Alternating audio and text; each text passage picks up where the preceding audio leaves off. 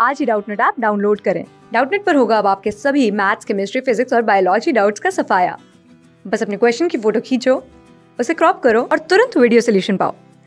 Download now. Hello दोस्तों, हमें प्रश्न दिया गया है कि निसंक शब्द में प्रयुक्त उपसर्ग है। हमारे पास यहाँ पे चार विकल्प दिए गए हैं। पहला विकल्प है निह, दूसरा विकल्प है निर, तीसरा विकल्प है निर और चौथा विकल्प है नी। हमें यहाँ पे बताना है कि इसका सही उत्तर क्या होगा। तो हम सबसे पहले देखते हैं कि उपसर्ग किसे कहते हैं।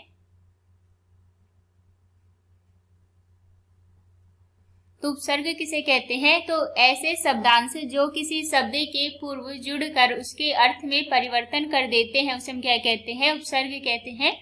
क्या होगा? ऐसे शब्दांश।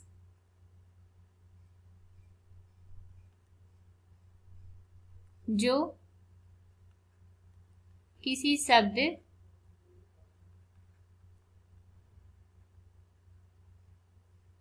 किसी शब्द के पूर्व जुड़कर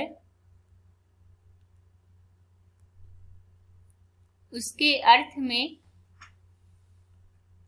उसके अर्थ में परिवर्तन कर देते हैं। परिवर्तन कर देते है उसे हम क्या कहते हैं? उपसर्ग कहते हैं। निसंक का अर्थ क्या होता है? तुम देखते हैं।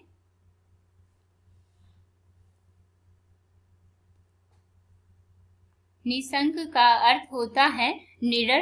क्या होता है? निडर। या फिर कह सकते हैं कि बिना डर के।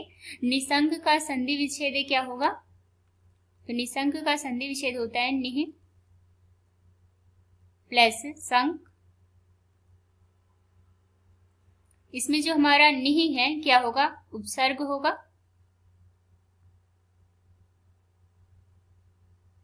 और संक जो है यहाँ पे प्रत्यय है।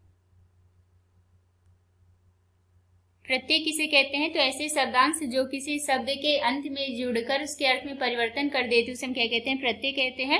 यदि विकल्प में देखें तो पहला विकल्प है नहीं तो निसंक शब्द में प्रयुक्त उपसर्ग नहीं है तो हमारा पहला विकल्प इसका सही उत्तर होगा। दूसरा विकल्प है निर। तो निसंक शब्द में प्रयुक्त उपसर्ग निर नहीं है, तुम्हारा दूसरा विकल्प नहीं होगा, तीसरा विकल्प है निर। तो निसंक शब्द में हमारा निर उपसर्ग भी नहीं है तो हमारा विकल्प तीसरा भी नहीं होगा। विकल्प चौथा है नी। तो निसंक शब्द में हमारा नी उपसर्ग भी नहीं है तो हमारा विकल्प चौथा भी नहीं होगा। अतः हम कह सकते हैं कि हमारा जो विकल्प पहला है, वो इसका सही उत्तर होगा। क्लास सिक्स से लेके NEET I I T JEE mains और एडवांस के लेवल तक। दस मिलियन से ज़्यादा स्टूडेंट्स का भरोसा। आज ही डाउनलोड करें डाउट नेट आप या व्हाट्सअप कीजिए अपने डाउट्स आठ चार सौ चार सौ चार सौ पर।